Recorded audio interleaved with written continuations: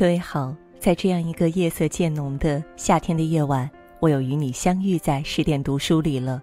我是林静，今天和大家分享的文章《绿山墙的安妮》，人生所有的失去都会以另一种方式回来。如果你也喜欢我们的文章，也别忘记了文末给我们点个再看。有这样一个十一岁的女孩，是凯特王妃的闺蜜。深受马克·吐温的喜爱，他的故事广为流传，被改编为话剧、广播剧、动漫。他居住的爱德华王子岛每年有数千人探访，寻找他的足迹。他不是什么大明星，长得还有点奇怪，满脸雀斑，一头红发，而且总是闯祸。他叫安妮，来自偏远的绿山墙农舍。是加拿大女作家蒙哥马利笔下最为经典的角色。周国平说：“安妮拥有两种极其宝贵的财富，一是对生活的惊奇感，二是充满乐观精神的想象力。无论遭遇什么，安妮总能用她的热情融化生活里的坚冰。她仿佛偷了魔法师的仙女棒，轻轻一挥。”人生里所有的失去，都以另一种方式回到了他的身边。命运难测，但境随心转。人们说，被魔鬼诅咒过的孩子才会长一头红发，就像安妮，而事实也确实如此。安妮从一出生，厄运就像影子一样，甩也甩不掉。她三个月大的时候，父母双双死于热病，后被贫穷的托马斯夫妇收养。可惜几年后，这对夫妇就将安妮遗弃在郊外。她在饿死前又被一位哈蒙德太太带回了家。没想到哈蒙德太太有八个孩子，而安妮则是她为孩子们找的小保姆。只是，无论安妮多能干，她还是在十岁这年被送去了孤儿院。四个月后的一天，安妮意外地迎来一个好消息。绿山墙农舍的一对兄妹即将收养他。不久后，安妮就怀着兴奋又激动的心情，踏上了去往绿山墙的火车。几经周折，她终于到达绿山墙，却差点被主人马瑞拉轰走。只听见这个老太婆愤怒地喊：“搞错了！我要一个男孩，不要这个丑姑娘！”原来，中间人误传了消息，孤儿院错把安妮送了过来。得知自己被人嫌弃，安妮先是大哭了一场，但很快她就想通了。既然要被送回去，不如好好欣赏一下绿山墙的美景。她坐在窗前看了会儿白桦树，又眺望了一会儿山峦和小溪，给院子里开满花的樱桃树起了个可爱的名字，并和它聊了聊天儿。之后，安妮躺在柔软的床上，美美的睡了一觉。第二天清晨，他欢快地登上马车，准备回孤儿院。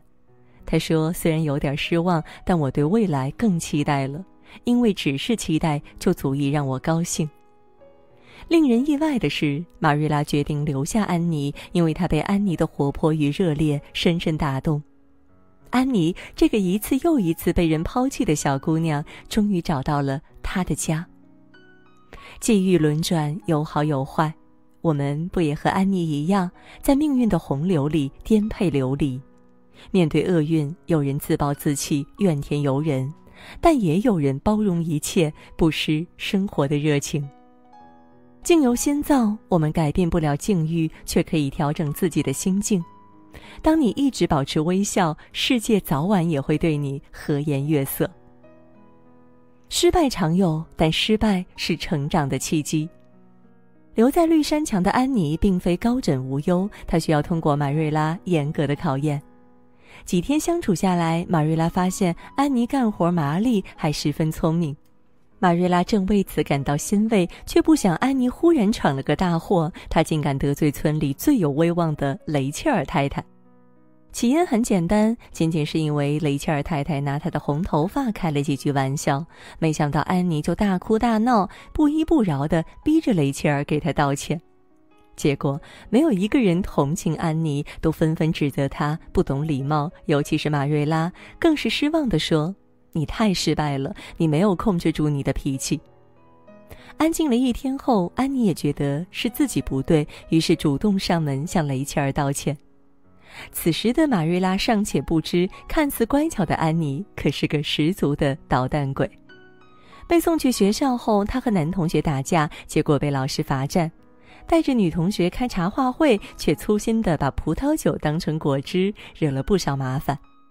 为了彰显自己的勇敢，她跳进湍急的小河，差点没被淹死。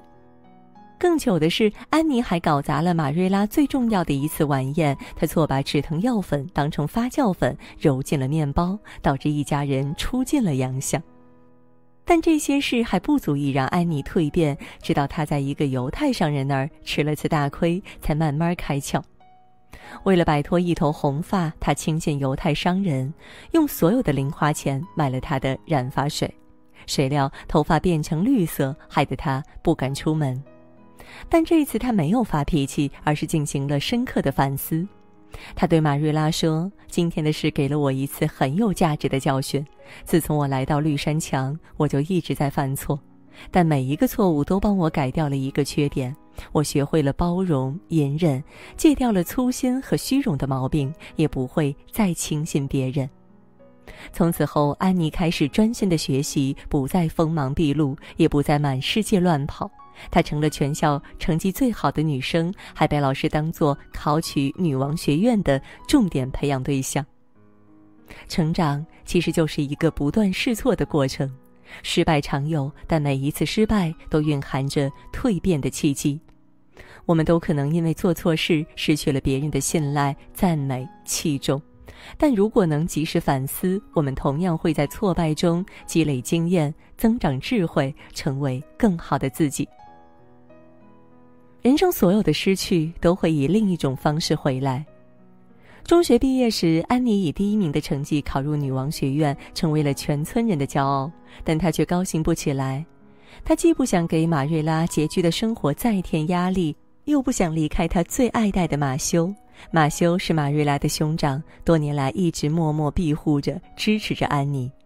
就像这次，马修不仅鼓励安妮去读大学，还拉着马瑞拉参加了他的中学毕业典礼。而安妮也没有让马修失望，入学后的第一个学期，他就拿到了全额奖学金。假期一到，他马不停蹄地飞奔回绿山墙，想给大家一个惊喜，却发现，在他离开的半年里，家里的一切都变了。马修仿佛一夜老了很多，腰弯得直不起来；而马瑞拉则疾病缠身，一点活也干不了。他们本想雇一个男孩干活，才发现自己存钱的银行濒临破产，他们一分钱都取不出来。紧接着祸事接踵而至，几天后，马修接到银行破产的消息，心脏病发作，撒手人寰；马瑞拉眼疾复发，险些失明。为了生活，马瑞拉决定卖掉绿山墙农舍。安妮看着周遭的变故，悲从心来。为了照顾马瑞拉，也为了保住绿山墙，她决定放弃学业，回村里当一名中学老师。马瑞拉不想耽误安妮，但安妮说：“放心吧，马瑞拉，我会自学大学课程，还有拉丁文、希腊文。我的理想不会改变。”小说最后。安妮顺利入职中学，与马瑞拉过上了安稳的生活，还在不久后收获了一份甜蜜的爱情。讲完安妮的故事，蒙哥马利感慨道：“人生总有峰回路转的时刻，当脚下的路越来越窄，换一条路或许就柳暗花明；当生活变故不断，主动应对或许能迎来转机。时间不能倒流，人生不能重来，但只要踏实的做好自己。”过往的遗憾总会释怀，所有的苦涩终有回甘。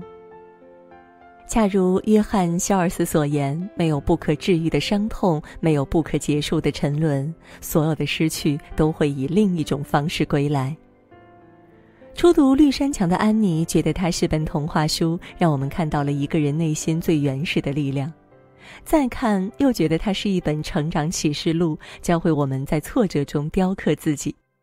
而当你经历了生活的刁难，才发觉这本书蕴含着一种治愈的力量，鼓励人们行走于艰难的人世间。安妮仿佛一颗小太阳，能驱散人们心中的迷雾，为苦闷的生活打进来一束光。生活中，我们时常感到沮丧、落魄、孤单。